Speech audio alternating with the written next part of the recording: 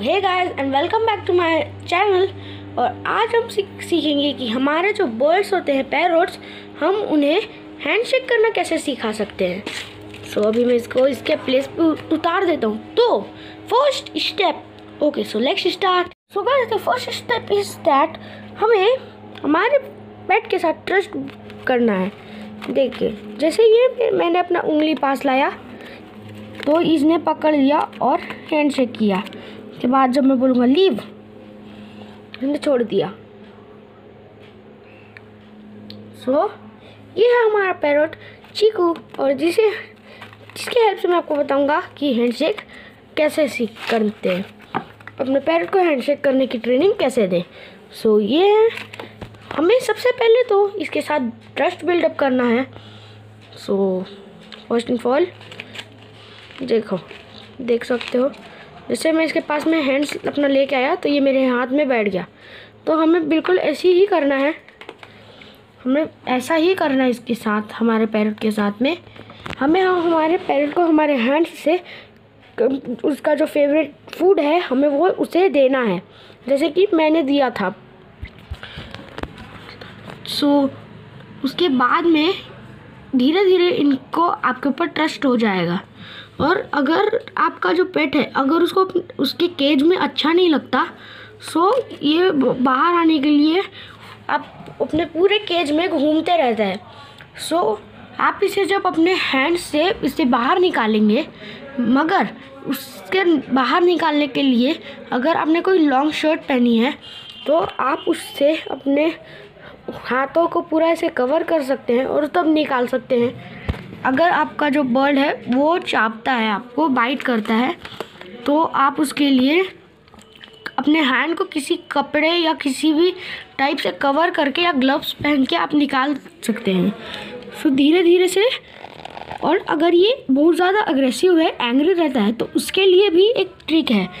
सबसे पहले आपको हम अपने हैंड को कवर कर देना है किसी भी चीज़ से। सो so, मैंने अभी अपने हैंड को ऐसे कवर किया है क्योंकि अभी मेरे पास में कोई भी टाइप से क्लॉथ नहीं था।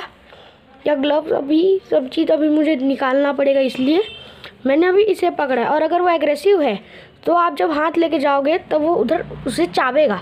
अभी तो ये नहीं चाब रहे क्योंकि ये भी पहले वैसे ही था जब ये नया था बट अभी ये ऐसा नहीं करता। सो so, तो ऐसा करने से इन लोगों का जो एग्रेसिवनेस है वो कम हो जाएगा। और इसी कारण ये अभी हमें छूने भी देता है। सो so, तो अगर और बट हाँ इस चीज़ के लिए थोड़ा सा टाइम लगेगा। आपके हैंड्स के ऊपर इसे ट्रस्ट करने में इसे थोड़ा सा टाइम तो लगेगा आपके पैरोट को। सो so, और जैसे ही आपके साथ में उसको ट्रस्ट बन जाएगा, आपको चेक करने के लिए सबसे पहले एक चीज़ करनी है। आपको अपने पैरोट के पास हाथ लेके आना है। और जब ये उसके ऊपर हैंड्स रखेगा, अगर वो हैंड्स रखता है तो समझ जाइए कि उसको आपसे ट्रस्ट है। बट जब मैं इसे हैंड शेकिंग की ट्रेनिंग दे रहा था, तब ये मेरे हाथ को चाप रहा था। बट अभी नहीं चाप रहा है और अभी सीट भी कर रहा है। सो so, अभी इसे हाथ में नहीं आना है इसलिए ये आके उतर रहा है। बट या अगर इसको जब जा कहीं जाने का मन होता है तब ये मेरे हाथ में आ जाता है। सो so, जब ये धीरे धीरे से आपके हैंड्स को पकड़ना शुरू करेगा तब आप उसे सिखा सकते हैं। जैसा कि आप देख सकते हैं इसने मुझे हैंड को पकड़ा मैंने शेक किया छोड़ दिया। वैसे ही आप कर सकते हैं। धीरे धीरे करके ये आपके हैंड को पकड़ेगा। चेक करना है, छोड़ देना है। और ऐसे करना है, उसे आप कैच मैंने इसे ट्रेनिंग दिया था catch leave catch catch out so अभी इसने कैच किया। शेक लीव मैंने इसे बोल के ट्रेनिंग दिया है। और अगर आप लोग डायरेक्ट में देना चाहते हैं तो सिर्फ़ सिंपली पास में हैंड्स लेके आए, वो हाथ रखेगा शेक करो, छोड़ दीजिए। तो ऐसे में इस आपका जो पैरोट है, वो सीख जाएगा।